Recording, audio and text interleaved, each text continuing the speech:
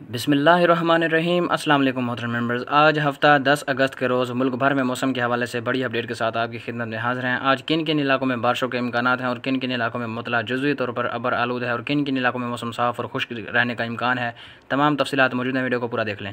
محترم ممبرز، تازہ ترین سیٹلائٹ تصاویر پر نظر ڈالیں۔ جیسا کہ آپ دیکھ سکتے ہیں کہ ملک کے اکثر علاقوں میں اس وقت جو ہمارے ملک کے شمالی علاقے ہیں، اس کے ساتھ ساتھ خیبر، پختونخوا کے بھی اکثر علاقے ہیں اور بلوچستان اور سندھ کے چاند علاقے ان علاقوں میں زیادہ تر مقامات پر مطلع جزوی ابر آلود ہے جبکہ شمالی علاقوں جس میں خطہ پٹوار کے علاقے شامل ہیں خیبر پختونخوا کے اکثر علاقے شامل ہیں پشاور سے میں صبح خیبر پختونخوا لاہور سے میں صبح پنجاب کے اکثر علاقوں میں بادل بنے ہوئے ہیں اور کہیں کہیں پر ہلکی بارش کا سلسلہ وقفے وقفے سے جاری ہے۔ آئندہ آنے والے چوبیس گھنٹوں کے دوران اور آئندہ آنے والے تین سے چار روز کے دوران انہی شمالی علاقوں جس میں خطہ پٹوار کے مختلف علاقوں لاہور سے میں صبح پنجاب کے بلائی وسطی علاقوں، اس کے ساتھ ساتھ صبح خیبر پختونخوا کے اکثر علاقوں، پشاور سے میں صبح خیبر پختونخوا کشمیر، گلگت بلتستان، اس کے ساتھ ساتھ ہمارے پنجاب کے وسطی اور جنوبی پنجاب کے مختلف علاقوں، جبکہ ہمارے کوئٹہ، سمیت صبح بلوچستان کے چاند علاقوں اور سندھ سمیت کراچی سمیت صبح سندھ کے بھی اکثر علاقوں میں زیادہ تر مقامات پر مطلع جزوی اور بارالود رہنے کا امکان ہے۔ شمالی علاقوں میں موسلادھار بارشیں متوقع ہیں۔ جنوبی پنجاب اور وسطی پنجاب کے اکثر علاقوں میں بھی بارشیں متوقع ہیں، جبکہ خیبر، پختونخوا کے اکثر علاقوں میں بھی زیادہ تر مقامات پر بادل بننے اور کہیں کہیں پر زبردست بارشوں کے امکانات ہیں۔ کوئٹہ سمیت صبح بلوچستان اور کراچی سمیت صبح سندھ کے اکثر علاقوں میں مطلع جزوی طور پر ابر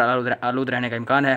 زیادہ تر خطر کسی بھی بارش کا آج امکان نہیں ہے۔ ان علاقوں میں تاہم، کراچی کے اکثر علاقوں میں سمندری بادلوں کا آنا جانا لگا رہے گا، جس کے سبب اچھی بارشیں دیکھنے کو مل سکتی ہیں۔ محترم ممبرز، اگر بات کریں بقیہ علاقوں کی تو آئندہ آج یعنی ہفتہ دس اگست اور آئندہ آنے والے تین سے چار روز کے دوران یعنی تیرہ سے چودہ اگست کے دوران ملک کے شمالی علاقوں، وسطی علاقوں اور جنوبی پنجاب کے اکثر علاقوں میں زیادہ تر مقام بادل بنیں گے اور کہیں کہیں پر بارشوں کا سلسلہ وقفے وقفے سے جاری رہنے کا امکان ہے۔ پشاور سے پشاور سے میں صبح خیبر پختونخوا کے اکثر علاقوں پشاور، چترال، دیر سوات ایبٹ بٹگرام مانسرا، کوہستان، ہری پور شانگلہ ٹانگ بنیر کرک ڈیرا اسماعیل خان، خیبر چارسدہ نوشہرہ ثوابی بنیر کرم باجوڑ وزیرستان ٹانک سمیت بنو ہنگو کے علاقے شامل ان علاقوں میں زیادہ تر مقامات پر مطلع جزوی اور آلود رہنے کا امکان ہے اور کہیں کہیں پر بارشوں کا امکان موجود رہے گا اور ان علاقوں میں زیادہ تر مقامات پر اگلے دو سے تین دنوں کے دوران زبردست بارشیں متوقع ہیں۔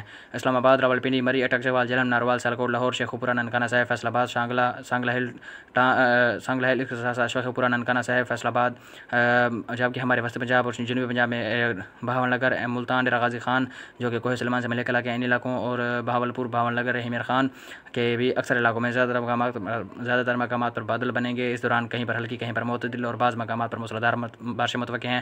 نوٹ فرما لیں محترم ممبرز، شمالی علاقوں میں زبردست موسلادھار بارشیں ہوں گی، جس سے سیلابی صورتحال کا خطرہ رہے گا، جبکہ جنوبی علاقوں میں آج دس اگست روز، ہفتہ کے روز اور آئندہ آنے والے دو سے تین دنوں کے دوران ہلکی بارشوں کے امکانات ہیں، جس میں باہولپور باہول نگر، رحیم خان کے علاقے قابل ذکر ہیں۔ تاہم، چاندے کے مقامات پر تیز بارش کا بھی امکان موجود رہے گا، جبکہ کشمیر، گلگت بلتستان کے بھی اکثر علاقوں میں مغربی سلسلے کے ذریعے سر اور مونسون ہواؤں کی سپورٹ اور اشتراک کی وجہ سے موسلادھار بارشیں متوقع ہوں گی، جس کے باعث ان علاقوں میں بھی زبردست بارشیں متوقع ہیں۔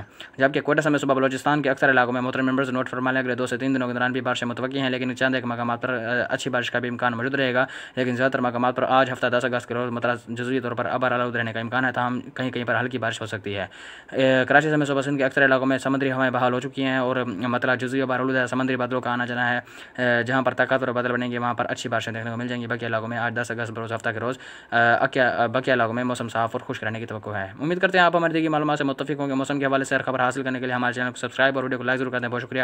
محترم ممبرز، ہم یہ رپورٹ محض انسانی محدود علم کے مطابق تیار کرتے ہیں۔ اس میں تبدیلی ممکن ہے، ہوگا وہی جو پروردگار عالم چاہیں گے، اس میں کوئی شک نہیں۔ تو اپنا بہت سارا خیال رکھیے گا۔ موسم کے حوالے سے خبر حاصل کرنے کے لیے ہمارے چینل کو سبسکرائب کریں۔ اپنے علاقے کا موسم جاننے کے لیے ہمارے ہمیں کمنٹ کر دیں۔ انشاءاللہ آپ کی وہ، آپ کی کمنٹ کا جواب دے دیا جائے گا۔ تو ملتا ہے نیکسٹ میں، اپنا بہت سارا خیال رکھیے گا، دعا میں یاد رکھیے گا۔ اللہ نگہبان۔